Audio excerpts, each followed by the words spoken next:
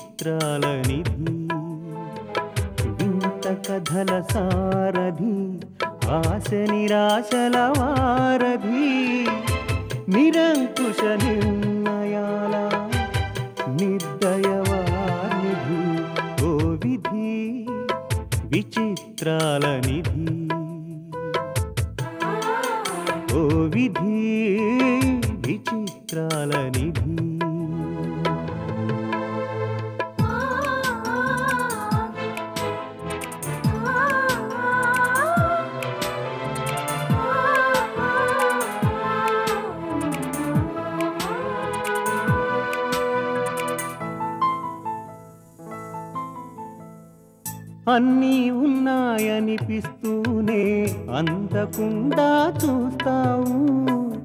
సంపదలెన్నో ఇచ్చి సంతోషం మాత్రం దాచేస్తావు. కోరికలని ఉరి తీయాలని నీకెంతో ఉబలాటం. ప్రాణాలు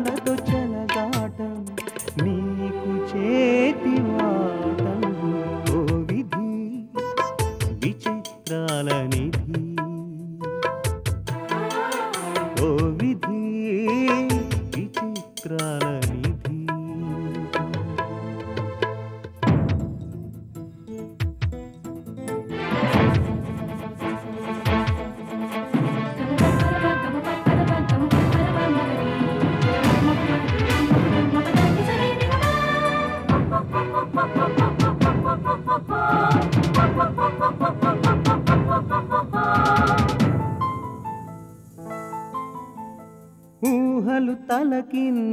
చేసి ఉనికిని చాటుకుంటావు. ఊహించని మలుపులతో ఉసురు పోసుకుంటావు. మనసు మమతలపై నీకు అనాదిగా కక్ష. నీ చేతిలో మనిషికి మనుగడే ఓ పరీక్ష ఓ విధి విచిత్రాల నిధి.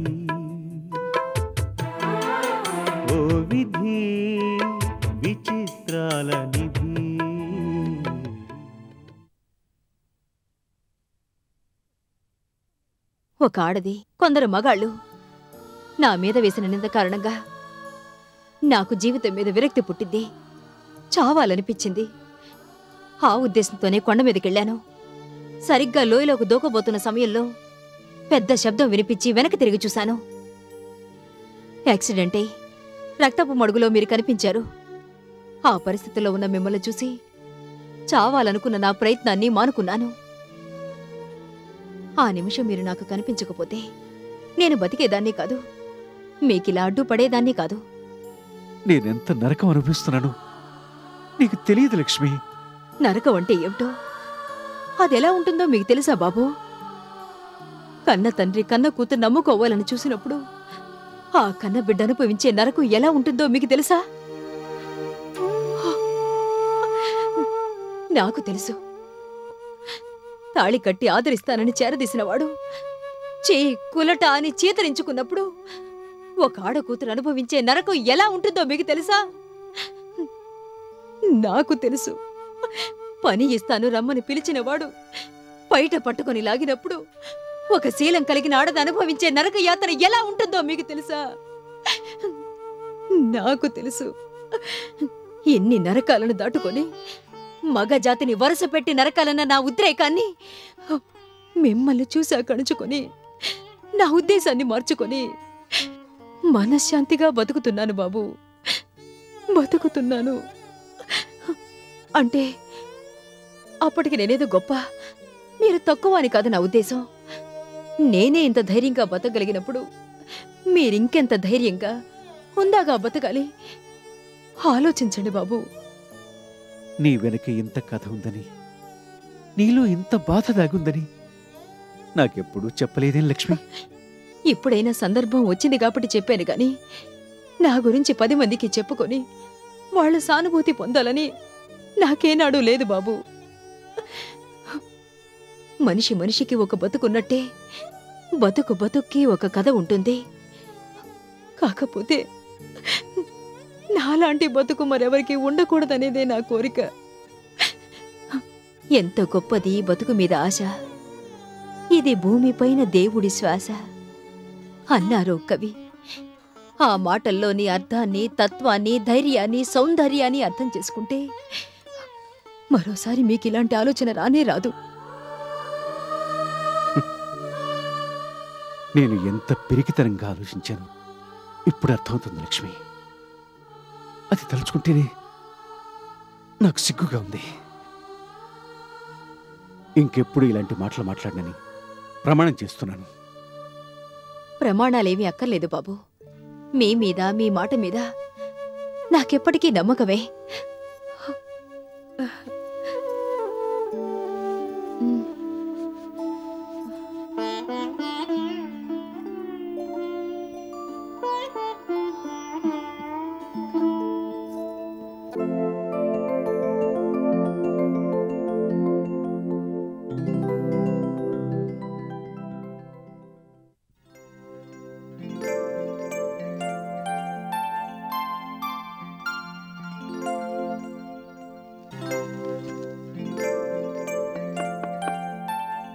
Come in good morning madam distribution network మెరుగుపరచడానికి ఆ సెక్షన్ నుంచి కొన్ని సూచనలు వచ్చాయి. వీటిని మీరు ఒకసారి చూసి రిమార్క్స్ ఏమైనా ఉంటే రాయండి. అలాగే మేడం మీకు గుడ్ న్యూస్ మేడం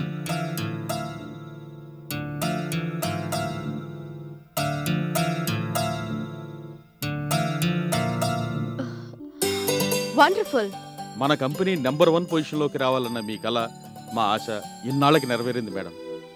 ఎంత బాగా రాశారో చూసారా బిజినెస్లో కాకలు తీరిన మేధావులతో పోటీపడి తట్టుకు నిలబడి నెంబర్ వన్ పొజిషన్లోకి వచ్చారని కంపెనీ నిర్వహణ బాధ్యతలు మీరు చేపట్టాక కంపెనీ రూపురేఖలే మారిపోయాయని మల్టీనేషనల్ కంపెనీలకే గట్టి పోటీనిచ్చే విధంగా తీర్చిదిద్దారని.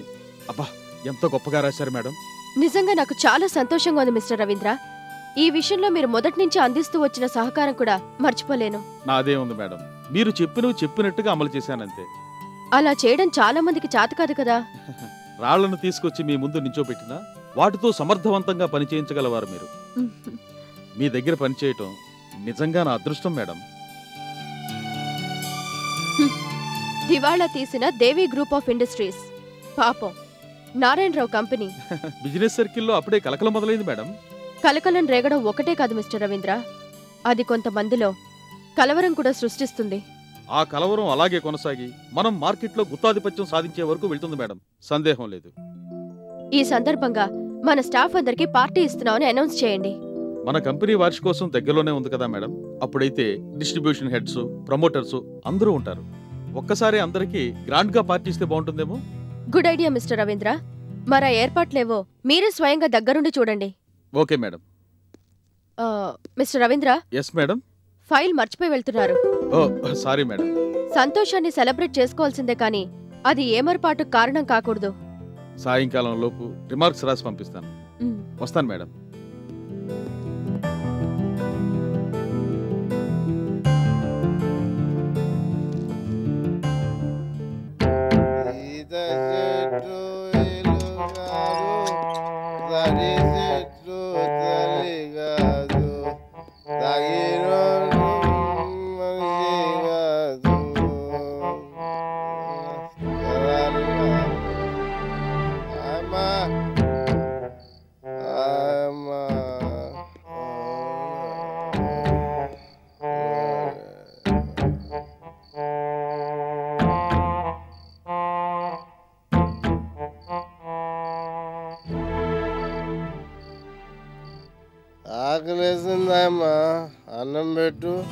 ఓసారి ఇటు చూడు.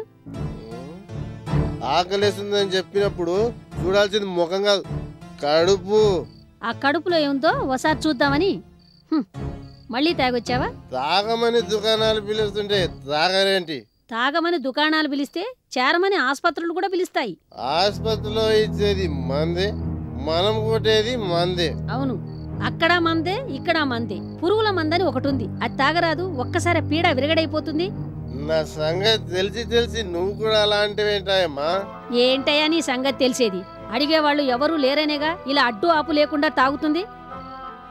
అయ్యగారు ఎక్కడా ఆడిటర్ గారు కారులో తీసుకెళ్ళారు. నువ్వు ఇటు తగలడితే మరి అయ్యగారు? ఆడిటర్ గారు మళ్ళీ కారులో దింపుతానన్నారు. అన్నారు కదా ఇదే సందని తమరు పీకల దాకా తాగొచ్చారు. ఛీ! నిన్ను పెట్టమంది అన్నం శివార్లు కాదు. నువ్వు ఈ జన్మలో బాగుపడవు కాశీ. తెలుసుగా? పోయి అన్నం పట్టురా పో.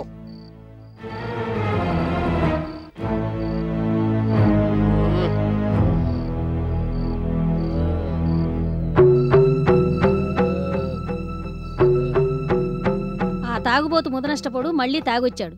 వెళ్ళి వాడి ముఖాన కాస్తంత అన్నం పడి పాపం. అతన్నెందుకు అంతలా తిడతావాయమ్మా తిట్టక అయ్యా దొర అని గౌరవించాలా ఏమిటి? తాగిన వాళ్ళు పసివాళ్ళు ఒక్కలాగే ఉంటారు. వాళ్ళేం చేస్తారో వాళ్ళకే తెలీదు. ఇదిగో. అతగాడి మీద విపరీతమైన జాలి చూపిస్తున్నావుగా? నువ్వే వెళ్ళి పెట్టు. నా చేత్తో ఎవరికైనా అన్నం పెడితే అది శాపమై తిరిగి నాకే తగులుతుంది. నువ్వే తీసుకెళ్ళాయమ్మా ఆ తాగుబోతోడికి పీపాల గురించే తప్ప శాపాల గురించి తెలీదు. నువ్వే వెళ్ళు.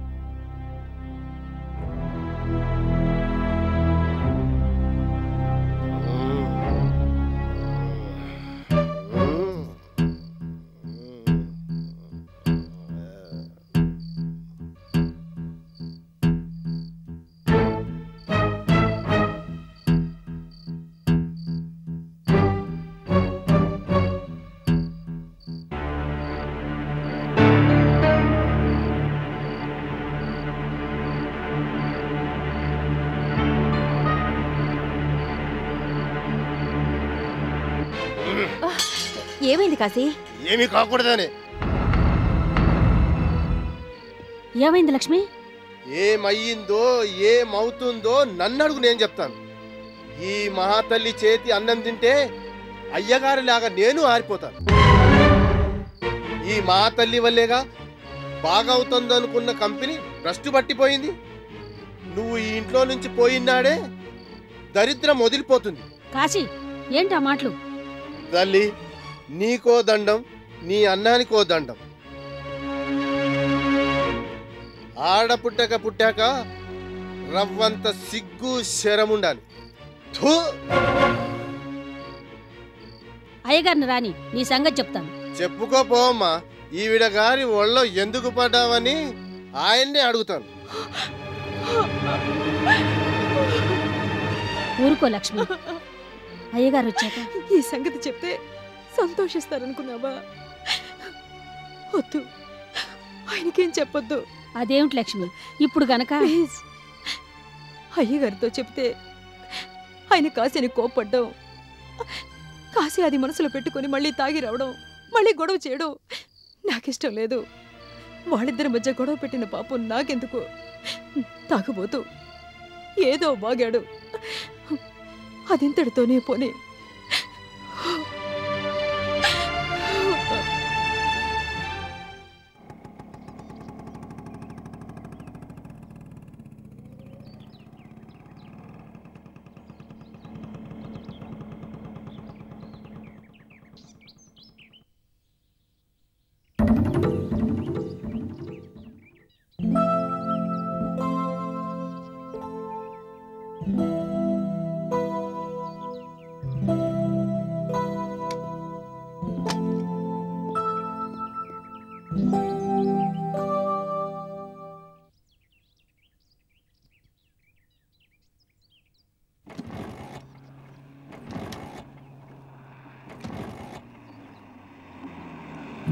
డ్రైవర్ ఖరాబు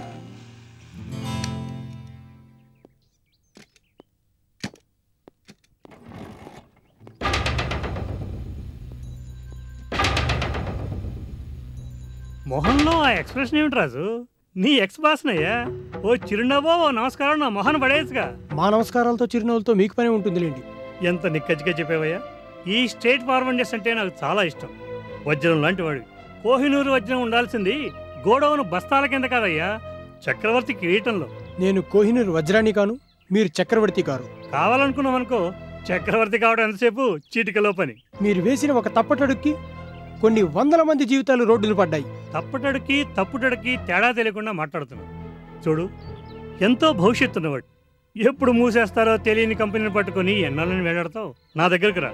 నువ్వు అడిగిన దానికన్నా రెట్టింపు జీతం ఇస్తాను. కారు బంగ్లా సెల్ ఫోన్ వాట్ నాట్. నువ్వు కోరుకున్నవన్నీ ఇస్తాను. అవన్నీ మీరు ఇస్తారు. కానీ నా మనస్సాక్షి నాకేమిస్తుందో తెలుసా? నమ్మక ద్రోహి అనే బిరుదు. ఏమిటయ్యా మనస్సాక్షి? మనస్సాక్షిని నమ్ముకుని బాగుపడ్డవాడిని ఒక్కడిని ఒక్కడిని చూపించు. మన మనుషులు రాజు. కంపెనీ గోళ్ళ మధ్య నలిగిపోయే యంత్రాలం కాదు. అవకాశం వచ్చినప్పుడు ఎక్కడికైనా వెళ్ళిపోవాలి. ఎలాగైనా బ్రతకాలి. నా దగ్గరికి వచ్చాయి నిన్ను నా అంతటి వాడిని చేస్తాను. Sorry sir. ఇన్నాళ్ళు నారాయణరావు గారిని నమ్ముకుని ఇంత వాడినయ్యాను సరిగ్గా ఆయన కష్టాల్లో ఉండే సమయంలో ఆయన వదిలి రావడం నాకు ఇష్టం లేదు. పోనీ ఎప్పుడు వస్తావు అదేనే చెప్పు.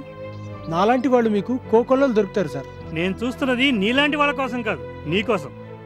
చెప్పు ఎప్పుడు వస్తావు మరోసారి దాదాలు వచ్చి కంపెనీ ఆఫీసులు చిందరవందర చేశాకనా? ఫైనాన్స్ కార్పొరేషన్ వాళ్ళు కంపెనీ ఆస్తులను వేలం వేశాకనా? నిన్నే నమ్ముకుని బతుకుతున్న నీ ఇంటిని పాది ఆకలి చావులు చచ్చాకనా? మీరు ఇంతగా అడుగుతున్నారు కాబట్టి నా మనసులో ఉన్న మాట చెప్తున్నాను సార్. చెప్పు. కావాలంటే ఆకలి చావులు చావడానికైనా సిద్ధమే కానీ నమ్ముకున్న వాళ్ళ గొంతు కోసే మీలాంటి నమ్మక ద్రోహుల దగ్గర మాత్రం పనిచేయదు.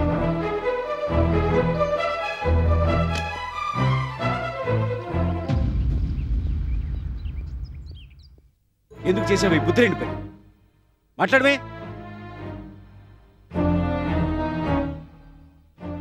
ఎవరు చెప్పారు కానీ మీకు అన్ని అబద్ధాలే చెప్పారు సార్. నోరుమై ఇంకా సిగ్గు లేకుండా మాట్లాడుతున్నావా?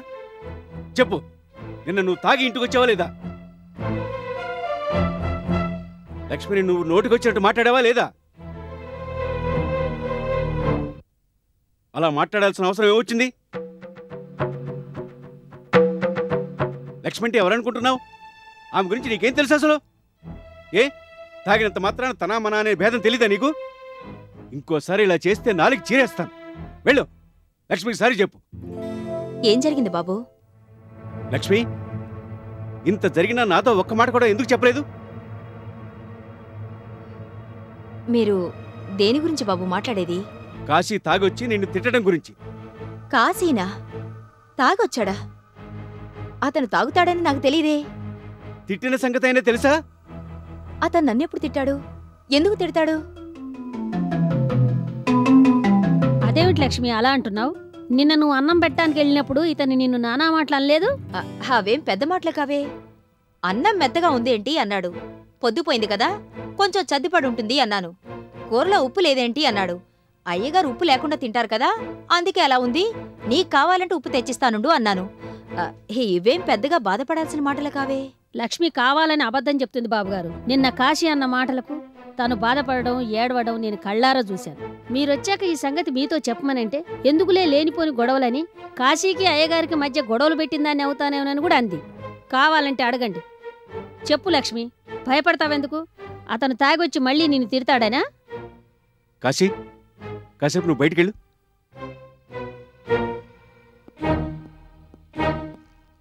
ఇప్పుడు చెప్పు లక్ష్మి. చేతనైతే ఒకరి తగాదా తీర్చేదాన్నే గాని ఎప్పుడు ఎవరి మధ్య తగాదా పెట్టి ఎరగనదాన్ని బాబు. అది కాదు లక్ష్మి నేను అడిగేది వాడు తాగొచ్చి నిన్ను తిట్టాడా లేదా? తాగిన వాళ్ళకి చిన్న మెదడు పనిచేయదట మైకంలో నోటుకొచ్చిందేదో మాట్లాడతారట. అవన్నీ మనం సీరియస్గా పట్టించుకుంటే ఎలా? మీరంటే కాశీకి పంచప్రాణాల బాబు. మీ మీదున్న ప్రేమే నా మీద అతని ద్వేషానికి కారణమైంది. అతను ఎన్నిసార్లు ఎన్ని పొరపాట్లు చేసినా మీరు మన్నిస్తూనే వచ్చారు. ఎందుకు? అతనంటే మీకిష్టం గనక. నా కారణంగా మీరు అతన్ని తిట్టడం అతనికి మీ మీద ద్వేషం పెరగడం నాకిష్టం లేదు. అందుకే అలా చెప్పాను. ఈటీవీ విన్ యాప్ రోజుకి కేవలం రూపాయి మాత్రమే. ఇప్పుడే ఈటీవీ విన్ యాప్ డౌన్లోడ్ చేసి సబ్స్క్రైబ్ చేయండి.